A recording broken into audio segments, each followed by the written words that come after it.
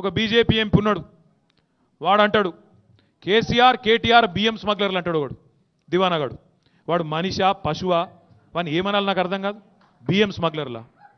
ఏమైనా తెలివి ఉందా మెదడు మోకాళ్ళకి జారిందా? లేకపోతే ఏమైనా ఖరాబ్ అయిందా నెత్తి మొత్తం? ఏం మాట్లాడుతున్నారు నాకు అర్థం కాదు. ఇక ఇంకొకడు ఉన్నాడు ఇక్కడ. Pradesh Congress committee PCC chief. Chief కాదు చీప్ నాకు తెలిసే మాట్లాడినా. చీప్ అని ఎందుకంటున్నట్టే నేనలే వాళ్ళ పార్టీ ఎంపీ చెప్తాడు. కోమటిరెడ్డి వెంకటరెడ్డి అని ఒక పుణ్యాత్ముడు ఉన్నాడు ఇంకో ఆయన.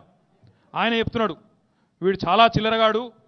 మా all India Congress committee incharge ఉన్నాడు ఇంకో చిల్లరగాడు. వానికి ఈ చిల్లరగాడు యాభై కోట్లు ఇచ్చి ఆ పదవి తెచ్చుకున్నాడు అని ఆయనే చెప్పి నేను చెప్తలేను. మరి వాడిని చీఫ్ అనాలా చీఫ్ అనాలనా ఓ చిల్లరగాడు. ఎంత దిమాగ్ ఖరాబ్ అయిందంటే వాంది ఏం మాట్లాడతాడు? మనం సెక్రటేరియట్ కడతామని చెప్పి ఉన్న సెక్రటరీ ఎందుకంటే కొత్త రాష్ట్రం వచ్చింది. ఒక అలా ముఖ్యమంత్రి ఎవరు ఉంటే వాళ్ళు కూర్చుంటారు. అది కేసీఆర్దే పర్మనెంట్ కాదు కదా. ముఖ్యమంత్రి ఎవరు ఉంటే వాళ్ళు అందులో కూర్చొని ఆడికి వెళ్ళి వ్యవహారం నడుపుతారు రాష్ట్రాన్ని నడుపుతారు. ఎవరన్నా బయట దేశం వాళ్ళు వచ్చినా బాగుంటుంది ఒక అందమైన సెక్రటేరియట్ ఉంటే ఒక మంచి సెక్రటేరియట్ ఉంటే రాష్ట్రం యొక్క ఔన్నత్యం పెరుగుతుంది అనేది మన ఆలోచన. దానికోసం కడతామని కార్యక్రమం షురూ చేసినాం. ఇదే పీసీసీ చీఫ్ ఏం మాట్లాడతాడు? దాని కింద సెక్రటేరియట్ అన్నైతే కడుతుండ్రో దాని కింద నేలమాలిగలు ఉన్నాయి అనంత పద్మనాభ స్వామి ఉన్నాడు చూడు ఆడ కేరళలో. ఆడ దొరికినాయి చూడు లక్షల కోట్లు. అవ గట్లనే ఇక్కడ కూడా ఉన్నది. పురావస్తు పరిశోధన శాఖ పోయి ఏలు పెట్టాలి అందులో కంపల్సరీ తవ్వాలి. కేసీఆర్ ప్రగతి భవన్కి వెళ్ళి సొరంగం దవ్వుకొని పోయి ఆ పైసలు దోసుక తింటా అంటాడు వాడు. వాడికి నెత్తి ఉందా? అలా చిప్పు ఉందా? దొబ్బిందా మళ్ళీ వాడే అంటాడు. అందులోనట నేలమాలి ఉందట వేల కోట్ల రూపాయలట కేసీఆర్ కిందికెళ్ళి సొరంగం దవ్వుకొని పోయి ఇదే రేవంత్ రెడ్డి చెప్తాడు. ఆడికెళ్ళి మొత్తం తీసుకుపోతాడు ఇక మనిషి అవని ఇంకేమన్నా అనాల మళ్ళీ అంటాడు మొన్న కరోనా వ్యాక్సిన్ వేసే టైం వచ్చింది. పదివేల కోట్ల కుంభకోణం అంటాడు. మరి ఈ పదివేల కోట్ల కుంభకోణం ఎక్కడిది? మన ఎక్కడిది? కేంద్ర ప్రభుత్వము మనం డిమాండ్ చేసినాక దేశ ప్రజలందరూ తిరగబడతారేమో అని భయంతో ఇక మేమే ఇస్తాం తీ అన్నారు. మనం ఉన్నదే ఎక్కడ? మనం ఎక్కడ పదివేల కో అసలు మనం ఖర్చు పెట్టిందే కొన్ని వందల కోట్లు వ్యాక్సిన్ అప్పటికి మనం. వాడు పదివేల కోట్లు తిన్నాడు కేసీఆర్ అంటాడు. మళ్ళీ ఇవాళ ఇంకో స్టేట్మెంట్. మూడు వేల కోట్ల కుంభకోణం ఏదో ఉన్నది అది బయటపడుతుందని చెప్పి వీళ్ళు టీఆర్ఎస్ ఎంపీలు ఢిల్లీలో లొల్లిపెట్టినని మాట్లాడతాడు. నిన్న కేశవరావు గారు చెప్పిండు వాడు దివానగాడు పిచ్చోడు వానికి ఏం తెలియదు అని నిన్ననే చెప్పిండు. నేను మళ్ళొకసారి చెప్తున్నా. ఏం మనుషులే వీళ్ళు నాకు అర్థం కాదు. ఇక్కడ రైతులు గోస ఉంటే గోస పడుతుంటే యాసంగిలా వరి వండియాలనా వద్దా? ఎందుకంటే నాట్లేసే టైంకి ఇప్పుడు. నాట్లేసేది నవంబర్లో. మరి యాసంగిల వరి వండియాలనా వద్దా అని తేల్చురా మొగడానికి కేంద్ర ప్రభుత్వాన్ని మనం డిమాండ్ చేస్తుంటే ఆయన కిషన్ రెడ్డి చెప్తాడు పీయూష్ గోయల్ చెప్తాడు ఫిబ్రవరిలో డిసైడ్ చేస్తాం. ఫిబ్రవరిలో డిసైడ్ చేస్తారు ఎవడన్నా? కొంటేనేమో వరి వేస్తాం. కొనకపోతే వరి వేయం. అంతే కదా సింపుల్ లెక్క. అది చెప్పురా అంటే చెప్పాడు కానీ ఫిబ్రవరిలో తెలుస్తామని. ఒకడు టీఆర్ఎస్ వాళ్ళు పనిలేక కడుపు అజీర్తయి ధర్నా చేస్తురని ఇంకొకడు కేసీఆర్ కేటీఆర్ బిఎం స్మగ్లర్లని ఇంకొకడు గిదా రాజకీయం. ఇంత చిల్లరగాల్లా ఇవాళ తెలంగాణ ఎంపీలు కాంగ్రెస్ బీజేపీ ఎంపీలు. ఎంత దౌర్భాగ్యం. మీరు గమనించండి ఒకసారి తెలంగాణ ప్రజలకు నేను విజ్ఞప్తి చేస్తా ఉన్నా. ఈ రోజు కాదు ఇరవై ఏండ్ల నుంచి తెలంగాణకు సంబంధించిన ఏ అంశం వచ్చినా పేగులు దిగేదాకా కొట్లాడింది. తెలంగాణ కోసం ఎప్పటికైనా కొట్లాడగలిగేది ఈ గులాబీ జెండా మాత్రమే. ఈ గుజరాత్ బానిసలు గుజరాత్ గులాములు కాదు ఆ ఢిల్లీ బానిసలు అంతకంటే కాదు.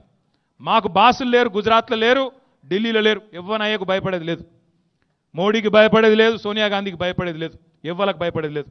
మేమెవరికన్నా జవాబుదారీ అంటే తెలంగాణ గల్లీల్లో ఉండే ప్రజలకు మాత్రమే అనే మాట ఈ సందర్భంగా నేను విజ్ఞప్తి చేస్తా ఉన్నా. మీకు భయం కావచ్చు. మోడీ అంటే అమిత్ షా అంటే వాళ్ళ ఉడత ఊపులకు మీరు భయపడచ్చు. ఎవడు భయపడుతుంది ఇక్కడ? ఎంక్వైరీ చేస్తాం జైల్లో పెడతాం. ఇంకో గమ్మ చూడును మీరు. రోజు తప్పించి రోజు ఎవడో ఒకరు అక్కడ పాటలు చేరిందని చెప్పి ఒక ఆయన తీసుకుపోయి కండువాలు కప్తారు పర్వాలేదు. ఒకసారి ఎవరైనా పాటలు చేరితే ఏం చెప్తారు? ఇప్పుడు లక్ష్మీనరసింహరావు గారు ఏం చెప్పారు వీళ్ళు చేసిన అభివృద్ధి చూసి కేసీఆర్ నాయకత్వంలో జరిగిన పని చూసి నేను మనసు మార్చుకున్నా కేసీఆర్తోనైతేనే రాష్ట్రానికి న్యాయం అవుతుందని చెప్పి నేను వచ్చినా అని చెప్పింది ఆయన. మరి వాళ్ళు ఏం చెప్తాను ఒక ఆయన చేరంగానే అంటాడు కేసీఆర్ అంతు చూస్తా అంటాడు ఒకడు. ఒకడేమో కేసీఆర్కు రాజకీయంగా సమాధి కడతా అంటాడు. ఒకడేమో కేసీఆర్ను జైలుకు పంపుతా అంటాడు. ఇంకోడు కేసీఆర్ను తొక్కుతా అంటాడు. అంతేగాని తెలంగాణకి ఏం చెప్తారో మాత్రం చెప్పరు. కేసీఆర్ను తొక్కుడు జైలుకు పంపుడు సమాధి చేసుడు గిదేనా? రాజకీయం అంటే. తెలంగాణకి ఏం చేసినవరు దౌర్భాగ్యుడు అంటే చెప్పే ముఖం ఒక్క బీజేపీకి లేదు. మీరు చూడండి ఒక్కసారి ఆలోచన చేయండి. మీ దగ్గర గెలిచిండు ఒక ఆయన కరీంనగర్లో. ఆయన పేరేంది? పార్లమెంట్ సభ్యుని పేరు? బండి సంజయ్ కాదు తొండి సంజయ్. పక్కా తొండి మనిషి వాడు హండ్రెడ్ పర్సెంట్ తొండి. ఒకసారి ఆలోచన చేయండి. మీరు ఆలోచన చేయండి. నేను కేశవరావు గారు మేమందరం ఇక కమలాకరణ మేమందరం ఢిల్లీకి పోయినాం. పీయూష్ గోయల్ దగ్గరికి పోయినాం. పోయి గంట సేపు కూర్చున్నాం. కూర్చొని మేము అడిగినాం అయ్యా పీయూష్ గోయల్ గారు మీరు స్పష్టంగా ఒక ఉత్తరం రాసిండ్రు. ఏమని రాసిండ్రు మీరు? మేము ఉప్పుడు బియ్యం కొనం. కేంద్ర ప్రభుత్వం ఫుడ్ కార్పొరేషన్ ఆఫ్ ఇండియా తెలంగాణలో వండించే బియ్యం ఏదైతే ఉప్పుడు బియ్యంగా మారుతుందో అది మేము కొనము. మా దగ్గర నిల్వలు నాలుగేళ్ళకి సరిపడా నిల్వలు ఉన్నాయి మేము కొనం అంటున్నాం. మరి మా రైతులు ఏడబోవాలి మా సంగతి ఏంది? ఫిబ్రవరి మాసంలో తెలంగాణలో ఉష్ణోగ్రత ముప్పై ముప్పై ఐదు డిగ్రీలకు వస్తుంది. మరి అప్పుడు ఏదైతే వరి ధాన్యం గింజ ఉంటుందో అది ఖచ్చితంగా ముప్పై దాటిందంటే ఉష్ణోగ్రత అది ఇరుగుతుంది. నూకలు అవుతుంది కాబట్టి మాకు తప్పది. మాకు బాయిల్డ్ రైస్ ఉప్పుడు బియ్యం తప్ప మార్గం లేదు. నువ్వు అర్థం చేసుకో. నువ్వు భారత ప్రభుత్వాన్ని నడుపుతున్నోనివి ఫుడ్ కార్పొరేషన్ ఆఫ్ ఇండియా నడుపుతున్నోనివి కాబట్టి పెద్ద మనసు చేసుకొని కొన్ని కోట్ల రూపాయలైనా పర్వాలేదు. ఒక రాష్ట్రం బాగా ఉరుకులు పెడుతున్నప్పుడు పరుగులు పెడుతున్నప్పుడు వ్యవసాయంలో వృద్ధి సాధిస్తున్నప్పుడు తప్పకుండా మీరు చేయూతనియాలి అని అడిగిన. అడిగితే ఆయన ఏమని అడిగినా నాతోని కాదు మీరు వరి వేయకుండ్రి బంద్ పెట్టుండ్రి అన్నాడు. మనం ఏమనుకున్నాం సరే మరి కేంద్ర ప్రభుత్వం కరాఖండిగా చెప్తుంది. ఏం చేయాలి? కనీసం మన రైతులకు చెప్పుకోవాలి అని చెప్పి మన రాష్ట్ర వ్యవసాయ మంత్రి గారు ముఖ్యమంత్రి గారి ఆదేశం మేరకు నిరంజన్ రెడ్డి గారు వచ్చి ఇక్కడ ఒక పత్రికా సమావేశం పెట్టిండు. అందులో చెప్పిండు ఖరాఖండిగా కేంద్ర ప్రభుత్వం తన విధానం మార్చుకున్నా అని చెప్తున్నది. తెలంగాణలో యాసంగిలో ఉత్పత్తి అయ్యే బియ్యం ఏదైతున్నదో పారాబాయిల్డ్ రైస్ చేయక తప్పది. ఇక్కడ ఉండే ఉష్ణోగ్రతల వల్ల మనకు మామూలు బియ్యం రాదు. అది బాయిల్డ్ రైసే అవుతుంది కాబట్టి వాళ్ళు బాయిల్ రైస్ కొన అంటున్నారు ఖరాఖండిగా మా విధానం మారిందని చెప్తున్నారు.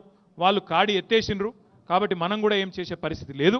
ఎందుకంటే లక్షల టన్నుల బియ్యం వస్తే ఏం చేసుకుంటాం? కాబట్టి మీరు వరి వేయద్దు అని చెప్పి నిరంజన్ రెడ్డి గారు తెలంగాణ రైతులకు విజ్ఞప్తి చేసిండు. ఇక్కడ నిరంజన్ రెడ్డి గారి ప్రెస్ మీట్ అయ్యిందో లేదో ఈ తొండి సంజయ్ అంటాడు మొదలు పెడతాడు. ఆడ నేను మైక్ దొరికిన అంశమే ఆయన కోతి కొబ్బరి చిప్ప దొరికినట్టు. లేలే లే, లే, మీరు వరే వేయాలి వరే వేయాలి యాసంగిలో వరే వేయాలి మేము అడిగినాం అరే వారి నీకు తెలుసా అసలు? ఏం మాట్లాడుతున్నావో తెలుసా? వరే వేయాలి అంటున్నావు. సరే వేద్దాం కొనిపిస్తావా మరి కేంద్ర ప్రభుత్వంతోనంటే నా జిమ్మెదారు అన్నాడు. మాకు అనుమానం వచ్చింది. ఈయన నాడే కూడా పట్టించుకుంటాడో లేదో? అసలు నరేంద్ర మోడీ నేను ఎప్పుడైనా నిజంగా చూసిండో? కిటికలకి వెళ్ళి చూసి వచ్చే బాపతనేమో? అని డౌట్ వచ్చింది. వచ్చి మేము నేను కమలాకరణ అన్న మళ్ళీ పోయినాం పీయూష్ గోయల్ దగ్గరికి. మరి నువ్వేమో అట్లాంటివి మీ ఊడేమో ఇట్లానే పట్టే నువ్వేమో వరి వద్దంటే వీడేమో ఏమనవట్టే? ఏం సంగతి రాబాయని మేము అడిగినాం. ఏ మావాడు బేకూఫ్గాడు వాడిని పట్టించుకోకుండా అంటాడు. ఎవరికి చెప్పుకోవాలి మేము బాధ? మావాడు ఉత్త బేకూఫ్ గాడు వాడిని పట్టించుకోకుండా వానికి ఏం తెలియదు? నేను వాడిని ఫోన్ చేసి బాగా తిట్టినా ఇరవై ఆరు తిట్టినా అంటాడు. ఎవరికి చెప్పుకోవాలి ఇగరే బాధ ఏంటంటే పరిస్థితి గిట్లున్నది. నిన్న ఇవాళ బీజేపీ వాళ్ళు కొత్త కథలు. ఎక్కడ లేని సమస్య తెలంగాణలోనే ఎందుకున్నది? అని ఒకడు అంటాడు. ఎందుకున్నది అంటే ఆ కథ కూడా మీకు చెప్తా అందుకే రాసుకున్నా. ఎందుకన్నా దబ్బన? లెక్కలు తప్పు చెప్పొద్దని చెప్పి రాసుకొని పెట్టుకున్నా. రెండు వేల జర్ర ఇది మనసున పట్టేట్టు నుండ్రి పది మందికి చెప్పుండ్రి. రెండు వేల పద్నాలుగులో మన రాష్ట్రం ఏర్పడ్డప్పుడు తెలంగాణ రాష్ట్రం ఏర్పడ్డప్పుడు తెలంగాణలో ఆనాడు వ్యవసాయం వరి సాగు వరి పంట అనేది రెండు పంటలు కలుపుకొని యాసంగి వానకాలం రెండు పంటలు కలుపుకొని మొత్తం ఆనాడు దగ్గర దగ్గర ముప్పై ఐదు లక్షల ఎకరాలలో వండుతుండే. రెండు వేల పద్నాలుగు ముచ్చట నేను చెప్పేది. ముప్పై ఐదు లక్షల ఎకరాల్లో వానకాలం యాసంగి కలిపి ముప్పై ఐదు లక్షల ఎకరాల్లో వరి వండుతుండే. వరి వండితే అప్పుడు ఎంత వచ్చింది ఎంత కొనుగోలు చేసింది అప్పటి కాంగ్రెస్ ప్రభుత్వం అంటే సార్ ఇది మన ప్రభుత్వం వచ్చింది అప్పటికి. మొట్టమొదటి సంవత్సరం మన ప్రభుత్వం వచ్చి మొదటి సంవత్సరం. అప్పుడు ఎంత కొనుగోలు చేసినామంటే మనం మొత్తం పండింది ఎక్కువనే కానీ మనం కొనుగోలు చేసింది ఇరవై నాలుగు లక్షల ముప్పై వేల మెట్రిక్ టన్నులు మనం కొనుగోలు చేసినాం. మళ్ళొక్కసారి ఈనుండ్రి. ముప్పై నాలుగు లక్షల సారీ ముప్పై నాలుగు లక్షల తొంభై తొంభై ఆరు వేల ఎకరాలు. అంటే ముప్పై ఐదు లక్షలు అనుకోండి. ముప్పై ఐదు లక్షల ఎకరాలల్లా యాసంగి వానకాలం కలిపి వరి వండుతుండే. వచ్చింది ఎంత? మనం కొనుగోలు చేసింది ఎంత? అంటే సివిల్ సప్లైస్ కార్పొరేషన్ ద్వారా ఇరవై నాలుగు లక్షల ముప్పై వేల మెట్రిక్ టన్నులు మనం కొనుగోలు చేసినాం. తర్వాత ఏం జరిగింది? రెండు వేల పద్నాలుగు తర్వాత చెరువులు బాగు చేసుకున్నాం. మిషన్ కాకతీయ కాళేశ్వరం లాంటి ప్రాజెక్టులు కట్టుకున్నాం. ఇప్పుడే లక్ష్మీనరసింహారావు గారు చెప్పిండ్రు ఎక్కడో ఎనభై రెండు మీటర్ల ఎత్తులో ఉండే కాళేశ్వరం నుంచి ఎత్తిపోసి కొండపోచమ్మ సాగర్ ఆరు వందల పన్నెండు మీటర్ల స్థాయికి నీళ్ళు ఎత్తుకొచ్చి ఇలా గూగుల్ ఇక్కడ ఉన్న పొలగాళ్ళు మీరు గూగుల్లో కొట్టుండ్రి. World's largest lift irrigation project అని కొట్టుండ్రి. ఏమొస్తుందో నాకు చూసి చెప్పుండ్రి ప్రపంచంలోనే అతిపెద్ద లిఫ్ట్ ఇరిగేషన్ ప్రాజెక్ట్ ఎక్కడ ఉన్నది అని గూగుల్లో కొడితే ఏం చెప్తుందంటే అది తెలంగాణ గడ్డ మీద ఉన్నది కేసీఆర్ కట్టిండు అనే మాట గూగుల్ కూడా చెప్తున్నది. అసలు ప్రాజెక్టులు కట్టుకున్నాం. ఇరవై నాలుగు గంటల కరెంట్ ఇచ్చుకున్నాం. బ్రహ్మాండంగా రైతులకు ఇరవై నాలుగు గంటల కరెంట్ చెట్టు ఇచ్చుట్ల వ్యవసాయ పంప్ సెట్లు కూడా బాగా పెరిగినాయి. మిత్రులారా ఏయ్ మిత్రులారా కోస్గికి ఎప్పుడొచ్చినా కోస్గికి ఎప్పుడొచ్చినా మీరు ఏ విధంగా అయితే అఖండ ఏయ్ అఖండ స్వాగతం పలుకుతారో ఈసారి కూడా అంతే అభిమానంతో అంతే ఉత్సాహంతో శ్రీమతి సోనియా గాంధీ గారి జన్మదిన సందర్భంగా తెలంగాణ ఏర్పాటును ప్రకటించిన రోజు ఈరోజు కాంగ్రెస్ పార్టీ సభ్యత్వ నమోదు కార్యక్రమాన్ని కూడా ఢిల్లీ నుంచి వచ్చిన శ్రీమతి సోనియా గాంధీ గారి ప్రతినిధి AICC digital incharge Praveen Prakash గారు ప్రవీణ్ చక్రవర్తి గారు శ్రీమతి సోనియా గాంధీ గారి ఆదేశాల మేరకు రాహుల్ గాంధీ గారి నిర్ణయం మేరకు ఈరోజు కొడంగల్కి వచ్చిండు. కోస్గిలో అర్జనవాడలో ఎల్లమ్మ తల్లిని దర్శనం చేసుకొని ఎల్లం మైసమ్మ తల్లి ఆశీర్వాదం తీసుకొని ఈ అర్జన బస్తీ నుంచి ఈ రాష్ట్ర తెలంగాణ నాలుగు కోట్ల ప్రజల యొక్క భవిష్యత్తును మార్చడానికి ప్రవీణ్ చక్రవర్తి గారు ఈరోజు ఇక్కడికి వచ్చిండ్రు. మీరు పలికిన అఖండమైన స్వాగతం మీ అభిమానాన్ని శ్రీమతి సోనియా గాంధీ గారికి వారు తెలియజేస్తారు. వారికి చప్పట్లతోని స్వాగతం పలకండి మిత్రులారా. తెలంగాణ ప్రజలు ముఖ్యంగా కోస్గి అర్జన బస్తీ ప్రజలు శ్రీమతి సోనియా గాంధీ గారికి తమ సంపూర్ణమైన మద్దతు తెలియజేస్తున్నారని చెప్పి ప్రవీణ్ చక్రవర్తి గారు ఢిల్లీలో రాహుల్ గాంధీ గారికి తెలియజేయడం జరుగుతుంది. మిత్రులారా మీరు ఆలోచన చేయండి. ఆనాడు కాంగ్రెస్ పార్టీ అధికారంలో ఉన్నప్పుడు ఇచ్చిన ఇందిరమ్మ ఇండ్లే ఇవాళ మన దళిత బస్తీలో మన అర్జనవాడలో కనిపిస్తున్నాయి. ఈ అర్జనవాడలో ఎవరికైనా డబుల్ బెడ్రూమ్ ఇల్లు వచ్చిందా? ఎవరికైనా డబుల్ బెడ్రూమ్ ఇల్లు వచ్చిందా? ఇంటికో ఉద్యోగం వచ్చిందా? ఆరోగ్యశ్రీ పథకం అమలవుతుందా? రైతులకు లక్ష రూపాయల రుణమాఫీ జరిగిందా? ఇంటింటికి ఒక ఉద్యోగం వచ్చిందా? దళితులకు మూడెకరాల భూమి వచ్చిందా? గిరిజనులకు మూడెకరాల భూమి వచ్చిందా? ఆనాడు నేను తెచ్చిన కోస్కి హాస్పిటల్ పనులన్న పూర్తయినాయా? మరి ఏమి చేయని ఈ తెలంగాణ రాష్ట్రంలో కేసీఆర్ పాలనలో ఎవరైనా సంతోషంగా ఉన్నారా? మీరు ఒక్కసారి ఆలోచన చేయండి. మరి ఏడేళ్ళలో ప్రవీణ్ చక్రవర్తి గారు చెప్పినట్టు కేసీఆర్ కుటుంబమే సంతోషంగా ఉన్నది. ఇవాళ నేను ఈ అర్జున బస్తి వేదికగా అడుగుతున్నా తెలంగాణ బంగారు తెలంగాణ అయ్యిందా? ఎవరికైనా తులమో మాసమో మా అక్కకి ఏమైనా ఇచ్చిండ్రా? తులమో మాసమో మీరు ఒక్కసారి అడగండి. మరి బంగారు తెలంగాణ ఎక్కడున్నదని చెప్పి ఆ తాగుబోతు కేసీఆర్ను నేను అడుగుతున్నా. ఇవాళ తెలంగాణ రాష్ట్రం తాగుబోతుల తెలంగాణగా మార్చండు. ఇవాళ తెలంగాణ రాష్ట్రం రైతులు కష్టపడి పండించిన పంట కొనేటోళ్ళు లేక కల్లాలలో కుప్పల మీద గుండెలాగి రైతులు చచ్చిపోయే పరిస్థితి ఇవాళ ఈ తెలంగాణ రాష్ట్రంలో ఉన్నది.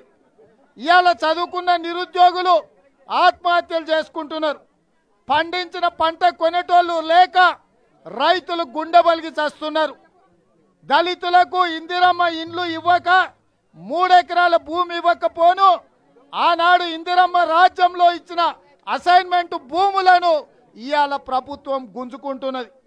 ఇవాళ ఆనాడు కాంగ్రెస్ పార్టీ రాజశేఖర రెడ్డి గారు ముఖ్యమంత్రి ఉన్నప్పుడు మైనారిటీలకు నాలుగు శాతం రిజర్వేషన్ ఇచ్చినాం మరి ఇవాళ आज हमारे माइनॉरिटी भाइयों से मैं पूछ रहा हूँ चार परसेंट आपको जो रिजर्वेशन दिया वो कांग्रेस पार्टी श्रीमती सोनिया गांधी जी ने दिया मगर केसीआर साहब ने ये कहा उन्हें कुर्सी में बैठे तो चार महीने में आप लोगों को 12 परसेंट रिजर्वेशन देने के लिए ऐलान किया था मैं आज मुसलमान भाइयों से मैं पूछ रहा हूं सात साल हो गए आप लोगों को 12 परसेंट रिजर्वेशन मिले क्या माइनॉरिटी को 12 परसेंट रिजर्वेशन मिले क्या तेन आप लोगों को गरीब लोगों को घर मिला क्या నౌకరీ మిలా క్యా కాబట్టి మిత్రులారా ఈ రాష్ట్రంలో దళితులకు కానీ గిరిజనులకు కానీ మైనారిటీలకు కానీ మరీ ముఖ్యంగా బీసీలు మా నియోజకవర్గంలో యాభై వేలకు పైగా ఉన్న ముదిరాజు సోదరులకు ఈ ప్రభుత్వం నుంచి ఒక్క రూపాయనన్న సాయం అందిందా అని నేను అడుగుతున్నా. ఇవాళ బీసీలకు అందలే ఎస్సీలకు అందలే ఎస్టీలకు అందలే మైనారిటీలకు అందలే మన నియోజకవర్గంలో ఒక్క ఉద్యోగం రాలే. రెండేళ్ళల్లా కృష్ణా జలాలు తెచ్చి కొడంగల్ నియోజకవర్గ రైతుల కాళ్ళు గడుగుతా అన్నాడు ఆ సన్నాసోడు తాగుబోతోడు. వచ్చినాయా అని నేను అడుగుతున్నా. ఆనాడు నేనున్నప్పుడు నారాయణపేట కొడంగల్ ఎత్తిపోతల పథకం అరవై తొమ్మిది జీవో ద్వారా లక్ష ఏడు వేల ఎకరాలకు నేను నిధులు మంజూరు చేపిస్తే కాంగ్రెస్ అధికారంలో ఉన్నప్పుడు ఇవాళ జీవోను తుంగలో దొక్కి మనకు నీటి వసతి లేకుండా చేసింది ఈ సన్నాసులు ఈ టీఆర్ఎస్ ప్రభుత్వం కదా మీరు ఆలోచన చేయండి. ఇవాళ మీరు ఆలోచన చేయండి ఆనాడు చెప్పిండు. ఎమ్మెల్యే ప్రభుత్వం ఒక్కటే ఉంటే అభివృద్ధి జరుగుతుందని. ఇవాళకి మూడేళ్ళు అయింది డిసెంబర్ నెల ఇది. డిసెంబర్ పదకొండు తారీఖు నాడు కేసీఆర్ ప్రభుత్వం రెండోసారి ఎన్నికైంది. ఇవాళ డిసెంబర్ తొమ్మిది. స్థానిక శాసనసభ్యుడై మూడేండ్లు పూర్తి చేసుకున్నారు. నేను అడుగుతున్నా సచ్చినోళ్ళు బతికినోళ్ళు దావతులకు పోవుడు తప్ప ఈ ఎమ్మెల్యే ఏమైనా ఒక్క రూపాయి తెచ్చిందా ఇవాళ షాదీ ముబారక్ కళ్యాణ లక్ష్మి ఎన్నిక పోతే కూడా వాటికి ఇవ్వాలంటే పది పదిహేను వేల రూపాయలు లంచాలు తీసుకుంటున్నారు. ఇవాళ పాస్బుక్ ఎన్నిక లంచాలు తీసుకుంటారు ఇవాళ మీరు మండల ఆఫీస్కి పోయినా ఎంపీడీఓ ఆఫీస్కి పోయినా సర్పంచులకు చేసిన పనులకు బిల్లులు ఇవ్వాలంటే కమిషన్లు ఇవ్వాల్సిన పరిస్థితి వచ్చింది. నేను అడుగుతున్న మీడియా మిత్రులను పదేండ్లు నేను ఎమ్మెల్యేగా ఉన్నా ఏ రోజైనా ఎవరి దగ్గరైనా ఒక్క రూపాయి కోసం చేయి సాచినమా గుడికొచ్చినా బడికొచ్చినా దవాఖానకు వచ్చినా స్కూల్ ఫీజులకు వచ్చినా నేను సొంతంగా సహాయం చేసిన. ఇవాళ ఈ నియోజకవర్గంలో ఉన్న పరిస్థితి మీరు ఆలోచన చేయండి. కాబట్టి మిత్రులారా ఢిల్లీలో శ్రీమతి సోనియా గాంధీ గారు మమ్మల్ని పిలిచినప్పుడు సోనియా గాంధీ గారికి మాట ఇచ్చి వచ్చిన తెలంగాణ రాష్ట్రం నుంచి ముప్పై లక్షల డిజిటల్ సభ్యత్వ నమోదు చేస్తా అని. అది నా మీద నమ్మకం కాదు. మీ మీద నమ్మకం కార్యకర్తల మీద నమ్మకం మన నాయకుల మీద నమ్మకం ఉండి ముప్పై లక్షలు చేస్తాన ఇవాళ మీ తరపున ఉండు తల్లి. ఏ ఉండే. ఉండు. ఇవాళ మన కార్యకర్తల తరపున ఒక మాట అడగదలుచుకున్నా. ఏ సత్యపాలు ఉండు. ఇవాళ మన కార్యకర్తల తరపున ఒక మాట చెప్పదలుచుకున్నా. పెద్దలు ప్రవీణ్ చక్రవర్తి గారు ఢిల్లీ నుంచి వచ్చారు కొడంగల్ నుంచి ఎన్ని చేద్దాం డిజిటల్ మెంబర్షిప్ మీరు చెప్పండి? గోవర్ధన్ చెప్పిండు లక్ష. మీరంతేమంటారు మీరంతేమంటారు మీరంతేమంటారు మీరంతేమంటారు వెనకాలన్న మా అక్కేమంటుంది? ఇక్కడికి వచ్చిన యువకులేమంటారు ఇవాళ కొడంగల్ ఒక్క నియోజకవర్గం నుంచి లక్ష డిజిటల్ మెంబర్షిప్ చేస్తాం. మీరందరూ చప్పట్లు కొట్టి మాట ఇవ్వండి ప్రవీణ్ భయ్య हमारे युवा नेता, हमारे जो कार्यकर्ता, हमारे दलित भाइयों ने ये कह रहा है कि खाली एक कोडंगल से जो पूरा तेलंगाना प्रदेश है आपको 30 लाख मेंबरशिप मिल रहा है ना, खाली कोडंगल से एक लाख मेंबरशिप आप फिर गिनना, कोडंगल से एक लाख से एक भी कम हुआ ना, हमको ना काम पकड़ना। हम लोग हम लोग हमारे कार्यकर्ता के तरफ़ से, एक ही हमारे गुजारिश है एक लाख मेंबरशिप हम बनाएँगे। राहुल जी को आप इधर लाना है, हमारे कोडंगल को। आप आना है। आप और राहुल जी आके पूरा हिंदुस्तान में सबसे ज़्यादा डिजिटल मेंबरशिप कोडंगल से होगा ये कोडंगल से। जो एक लाख मेंबरशिप बनेगा आप और राहुल जी यहाँ आके हमारे कार्यकर्ताओं को आप मदद देना है, हमारे कार्यकर्ताओं को तारीफ़ करना है। क्योंकि इस पे एक मेंबरशिप भी मैं नहीं करने वाला हूँ। हमारे कार्यकर्ता करने वाले, हमारे यहाँ के नेता करने वाले, उनके ऊपर उम्मीद है, भरोसा है। जब चौदह दिन में मुझे सात हज़ार से जिताया, पाँच साल के बाद वो सात हज़ार मेजोरिटी ये एक ही मंडल से आया मुझे। मुझे 2009 में मैं सात हज़ार वोटों से मैं जीता एमएलए सात के सात हज़ार, ये कोसगी मंडल से मुझे मिला है। ये मेरा दिल है, मेरा दिल का धड़कन है कोसगी यहाँ यहाँ से हमेशा अच्छा काम जो भी है, यही लोग मुझे आशीर्वाद देंगे। इसीलिए मेरा गुजारिश एक ही है एक लाख डिजिटल मेंबरशिप हमारे लोग करेगा। उसके बाद आप और राहुल जी कभी ना फुर्सत मिले, यहाँ कोडंगल आके जाने ये वादा सार